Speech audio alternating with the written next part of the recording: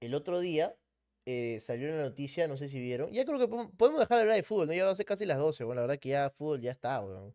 No, no se sabe nada. Alianza no ha contratado más jugadores.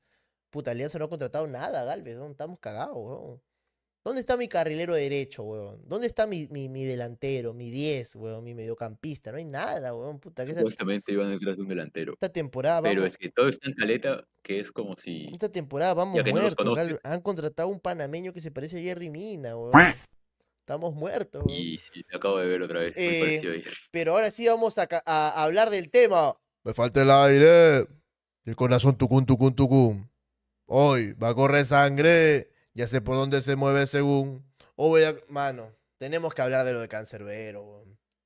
Tenemos que hablar, tenemos que hablar de lo de Cancerbero innegablemente, weón. Lo que ha pasado, lo que ha pasado eh, esta semana con el caso de Cancerbero del Can Can Can es muy pendejo. Weón eh, Tyrón González, alias Cancerbero, también conocido como el único chamo que me cae bien en la actualidad. Bueno, ya no, porque está muerto. Bueno, Tyrón González, también conocido como el único chamo que me caía bien, eh, fue un rapero de Venezuela, underground, muy underground, que pegó un par de temas eh, pegadísimos como es épico, ¿no? Esa canción de o oh, voy a convertirme en un criminal ya no creo en nadie, a menos que me convierta en un muerto. Yo voy a vengar a mi hermano como le juré a mi padre, diente por diente, eh, ¿cómo era? Diente por diente, ojo por ojo es esto. Bueno, tiene un montón de canciones muy buenas, Jeremías 17.5, De la vida como tragedia, comedia y ficción. Es un crack, un crack. Yo hace rato que no, hace rato que no, que no le... Que underground, mira, que se haya hecho conocido después no quiere decir que Cancerbero no haya sido underground en un comienzo. Eh, y Cancerbero fue tan bueno, pero tan bueno en lo que hacía en el rap, que empezó haciendo música underground, pero se hizo conocido, te diría ya, a nivel de toda Latinoamérica y en habla hispana ya era tomado como una referencia. Eh, cantaba rap estilo protesta y todo, y la verdad es que era muy bueno en lo que hacía, era muy, muy bueno en lo que hacía, eh, hasta que ocurrió el desenlace en el punto más alto de su carrera, Gal. No sé si sabes un poco lo que pasó con, Cancerbero. De que te tiró de un... Claro, vamos, a, vamos a hacerlo un poquito con, con, eufemismos para no usar palabras prohibidas por el algoritmo. Pero lo que pasó con Cancerbero fue básicamente esto. El tipo le estaba rompiendo, le estaba pegando y en un punto ya la gente que lo asesoraba le dijo, oye, weón, todo bien con que seas revolucionario, pero revolucionario en serio, porque no era el típico weón que, como residente, weón, que, que cuando hay una protesta en Chile va y mueve su banderita y después se va a tomar una foto con Maduro y a, y a, pedirle un autógrafo a Fidel Castro. Es un huevón, pero. Eh, era un, era, un, era un tipo rebelde en serio, un rebelde para todo tipo de autoridad y poder.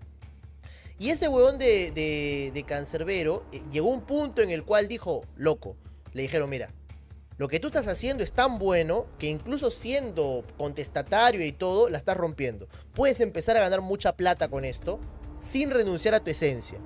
Y ese era el siguiente paso en su carrera, que creo que es ya la que le llega a todo artista, en la cual eh, tienes que irte ya un poquito soltando el hecho de que, puta, sí, que yo soy underground, que es amor al arte y todo. Porque amor al arte, vos si puedes ganar plata, gana plata.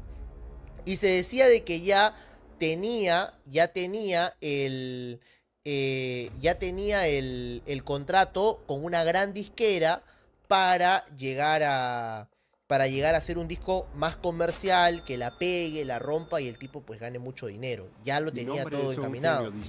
Pobre cancerbero. A pesar de que joven no me gustaba el rap, era de los pocos que le tenían un gran respeto. Rip Kankara llorando manos en oración.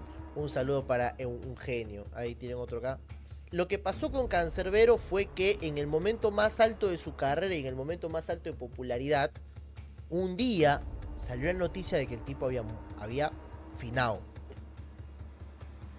De la nada, weón.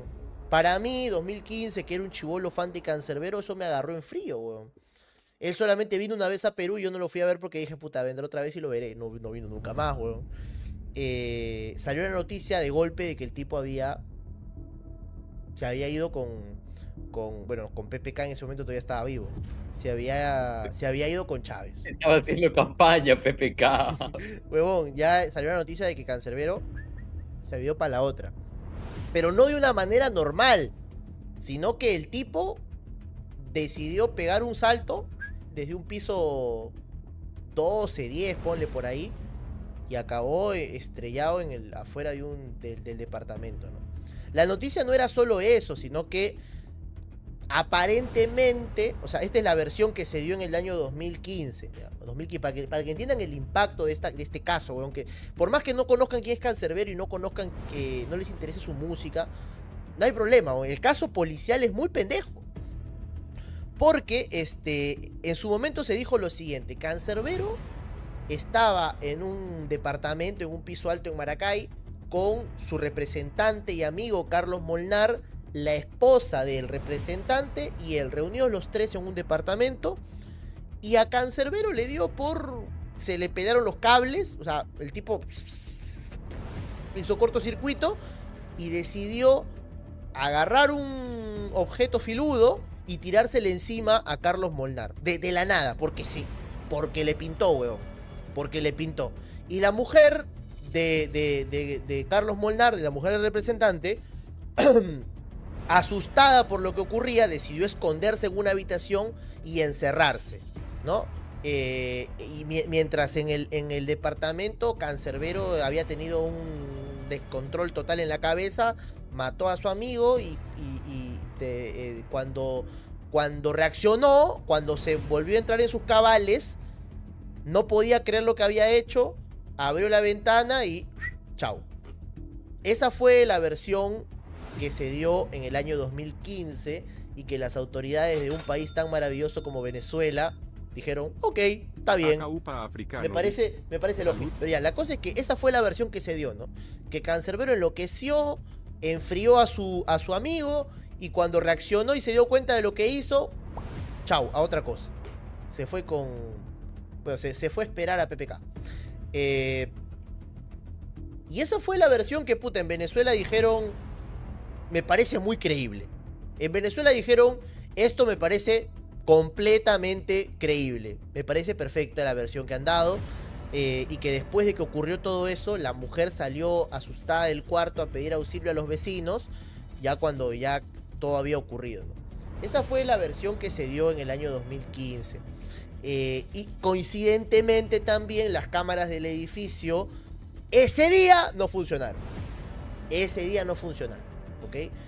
Ese día las cámaras del edificio eh, de- donde ocurrió todo convenientemente no funcionaron.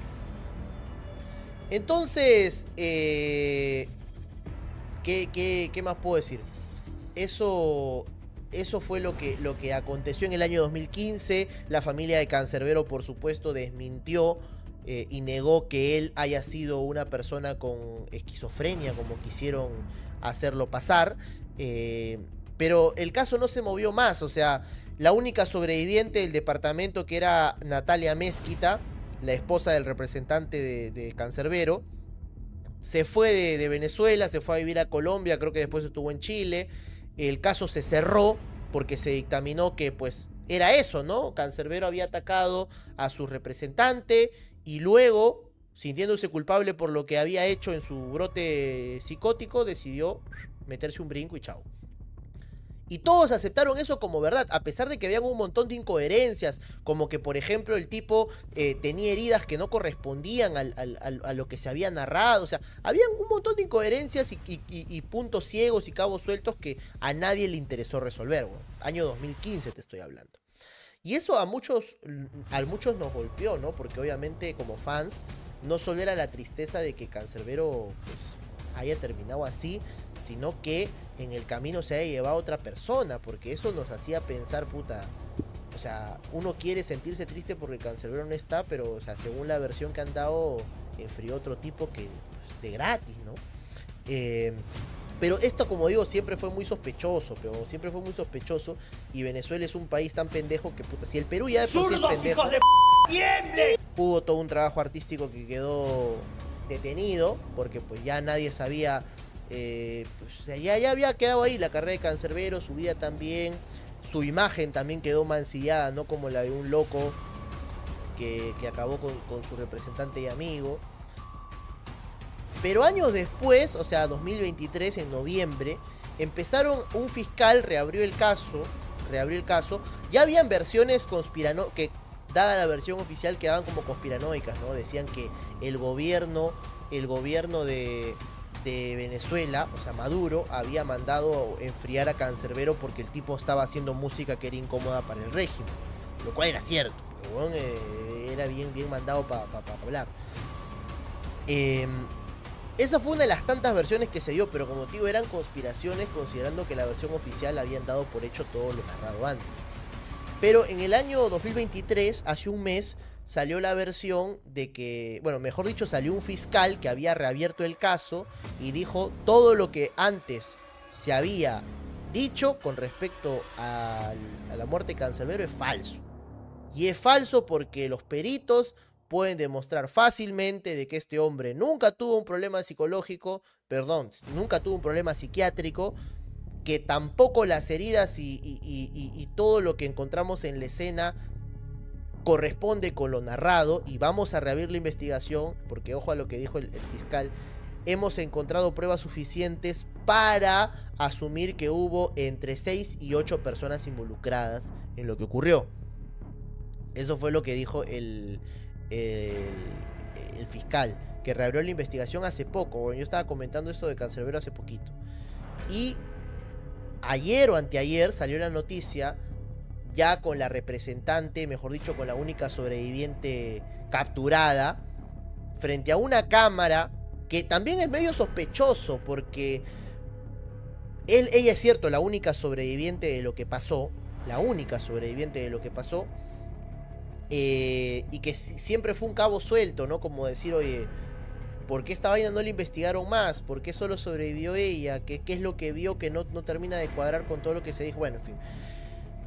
Lo que sí me sorprendió mucho es que ella haya regresado a Venezuela con, considerando de que ella pues era consciente de lo que había ocurrido en verdad y regresó a Venezuela pese a ya, ya estar viviendo en el extranjero, o sea, como que regresó como quien sabe que no le va a pasar nada o que es, es impune o que pues nunca se va a saber la verdad, ¿no? Ella regresó de Venezuela y ayer se salió un video de ella frente a las autoridades africano dice, confesando su crimen. era como Tupac Shakur de Latinoamérica silenciado pipipi.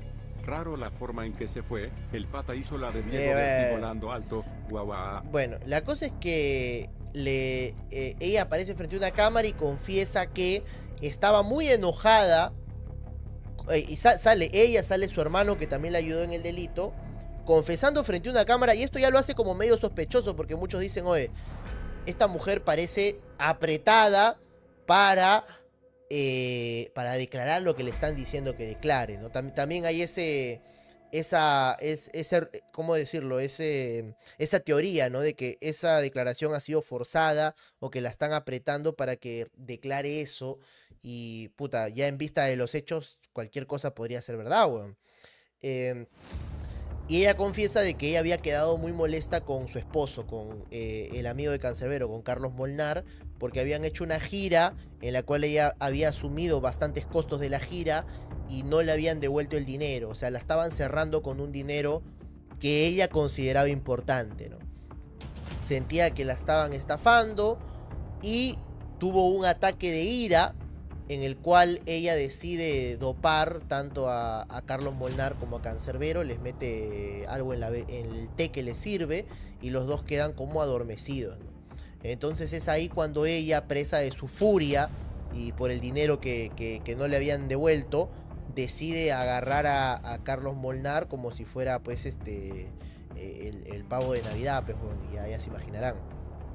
Lo siguiente que pasa, y según narra ahora Natalia Mezquita, la que está eh, eh, confesando el crimen, es que Cancerbero se levanta y ve todo.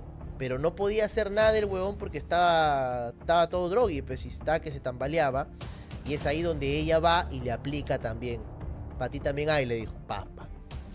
Y cuando ya ella se dio cuenta de lo que había pasado, llama al hermano y el hermano cae a la casa con unos oficiales eh, del, sistema de inteligencia de Venezuela. Acá sí es un tema pendejo, ¿ah? porque dice que cayó con tres oficiales del sistema de, inteligencia de Venezuela que la asesoraron en cómo preparar la imagen. A todo esto no nombraron a, los agentes de inteligencia porque no se identificaron obviamente y ella tampoco les tiró dedo. Pero dijo, llegó con tres agentes. Ahora, ¿por qué el hermano de ella tenía un contacto tan cercano con los agentes de seguridad? ¿Y por qué los agentes, perdón, con los agentes de inteligencia? ¿Y por qué los agentes de inteligencia estarían tan prestos a ayudarla? Es como que otra, otra pregunta que me hago, ¿no? Porque no es como que cualquier huevón llama por teléfono a su hermano, le cuenta lo que ha hecho y el hermano te cae con tres, con tres de, de- inteligencia del, del gobierno. O sea, y que esos tres estén dispuestos a ayudarte, eh, mucho más pendejo. Eh, y este, acá hay cervecero encerrado, dicen por ahí. Bueno, la cosa es que, eh, según lo que cuenta ya Natalia Mezquita, prisionera, es que ah, prepararon la escena del crimen y le dijeron que, bueno, que el hermano se tenía que ir porque él no podía estar presente y que lo último era mandar a Cancerbero eh, a la calle, ¿no? Había que mandarlo en un tobogán porque eh, para, para dar esa versión de lo que había acontecido. Eh, y eso fue lo que hicieron. Obviamente se encargaron también de que las cámaras de seguridad deletearan todo lo que pudieran haber grabado esa noche. Si es que no lo habían hecho antes ya. Y. Y eso fue lo que pasó. Y eso fue lo que, bueno, lo que ha confesado Natalia Mezquita y su hermano, ¿no? Que dice que después sobornó a varias autoridades para que el caso quedara ahí. Me parece que hay algo que falta averiguar, ¿no? Me parece que hay algo que, que falta averiguar porque, como te digo, a mí me parece muy pendejo que una persona haga eso sin ningún tipo de cálculo más allá de, ah, después de que lo haga, no pasa nada, y llamo a mi hermano, y mi hermano es como el huevón de Pulp Fiction, que, puta, tiene un teléfono y... eh, no sé si ustedes han visto Pulp Fiction, que hay un tipo que directamente se encarga de limpiar escenas de crímenes, ya, algo por el estilo, o como Mike Ehrmantraut en Breaking Bad, ya, pero no, es como que todo el mundo tiene el teléfono de alguien así para que llegue, te limpie la escena del crimen y diga que pasó otra cosa, ¿me entiendes? Eh, así que ahí hay algo que, huevón, no termina de, no termina de cuadrarme. El video tampoco. Le- les acabo de tirar una referencia a Pulp Fiction de Breaking Bad. Es increíble lo cinéfilo que soy. Soy un tipo oculto. Eh, pero, ¿cómo que, ¿cómo que Pulp Fiction, weón? Así se dice, Pulp Fiction. Es la, es la, es la pronunciation. Pulp Fiction. Tiempos violentos en su traducción al español. Eh, no todo el mundo, y menos en un país como Venezuela, te levante el teléfono y te consiga a tres agentes de, de inteligencia del Estado dispuestos a ayudarte. Ahora, otra teoría que se está armando alrededor de... Primero de que, ¿por qué después de tantos años a alguien se le ocurrió reabrir el caso de Cancerbero? ¿Y sabes cuál es la teoría, Galvez? ¿Cuál, cuál, cuál? La teoría es de que la intención de reabrir el caso es generar una indignación que saque a Maduro del poder en las próximas elecciones que son el año que viene. O sea, parece que desde el propio chavismo lo quieren voltear a Maduro, que sí tendría algo que ver con la muerte de Cancerbero, y por eso están sacándole este frío debajo de la alfombra para despertar la indignación de la gente y que en las próximas elecciones Maduro eh, pues no sea reelegido. Que Venezuela está. Y entre, ojo, que, y que, y entre, y que entre otro chavista, bueno, una cosa por el estilo. Esa es una de las No, teorías que se es está elaborando. Ya se entiende la teoría porque lo que va a pasar con Guyana terrible. Acá dicen Maduro Es descuido. Eh, Maduro acá me dice. Cancerbero era muy crítico con el gobierno. Creo que ahí podemos ver el chelero encerrado. Hay chelero encerrado eh, de, de- de todas maneras. De, de todas maneras. De todas maneras hay, hay chelero encerrado. Eh, ¿Y eso en qué afecta a Gareca DT de Chile? Bueno, chicos, también quería hablar de Cancerbero. weón. Eh, y es un caso muy pendejo. ¿ah? Es, es un caso muy pendejo porque que ocho años después recién se empieza a esclarecer la situación. ¿Y sabes qué tampoco me termina de cuadrar Galvez? ¿Cuál? No me termina de cuadrar la versión de la mujer. Primero que está como sentada obligando a leer todo lo que le dicen. No me cuadra la versión en la cual ella haya decidido eh, finar a su esposo y a Cancerbero por un tema de plata. No me Sí, cuadra. a mí tampoco. No me cuadra, Sí, no me cuadra, porque estamos hablando de que Cancerbero estaba en el momento más alto de su carrera, estaba a punto de firmar un disco comercial con Universal, o sea, el tipo estaba a punto de hacer plata como nunca antes en su vida, y si alguien te debe plata, como que no lo finas antes de eso, ¿no? O sea, ¿cuál era la lógica de, de- de- de hacer eso? Eso, eso es lo Y que... más no- allá de eso, era como que su, esposo. Claro, o sea, era como que plata. si tu, tu esposo te dé plata, puta, te divorcias o, o sea, no, no, no haces eso, ¿no? O sea, eh, y, ella quería hacer eso y cuál era el plan después, cómo, cómo iba a justificar eso. O sea, era como que muy, es, es algo que al menos para muy mí, forzado. claro, es algo que creo yo todavía no termina de, de- de- de cuadrar. Es como que al comienzo quisieron hacer quedar a, a Cancerbero como un loco esquizofrénico y ahora quieren hacerla quedar a ella como una asesina serial, como una demente. Pero creo que hay algo más detrás, weón. Def- Definitivamente hay algo más detrás. Eh, hay algo mucho más, mucho más feo detrás. Acá Carmón, Camona dice que a ella le iban a despedir, pero igual podía cobrar su plata. O sea, igual podía, podía intentar cobrar su plata y, y, y, o sea, digo, que Es más, armando un escándalo mediático, capaz que Claro, ganaba o sea, hasta, hasta haciéndole roche por deberle plata podría ganar hasta más que, que- que haciendo eso, ¿no? O sea, me parece una relación muy impulsiva. Para un tipo que además creo que es el papá de sus hijos. O sea, como que. A mí no me, a mí no me termina de, de, de- de cuadrar esa versión. ¿ah? A, mí, a mí no me termina de cuadrar esa versión. ¿Y por qué regresó también? Si ya está fuera, si tú sabes lo que has hecho y estás fuera del país, ¿para qué regresas? No sé, hay varias cosas que todavía faltan, faltan, faltan esclarecer en el caso de Cancerbero, que es un, es un, es un caso muy pendejo. Es un caso pendejazo.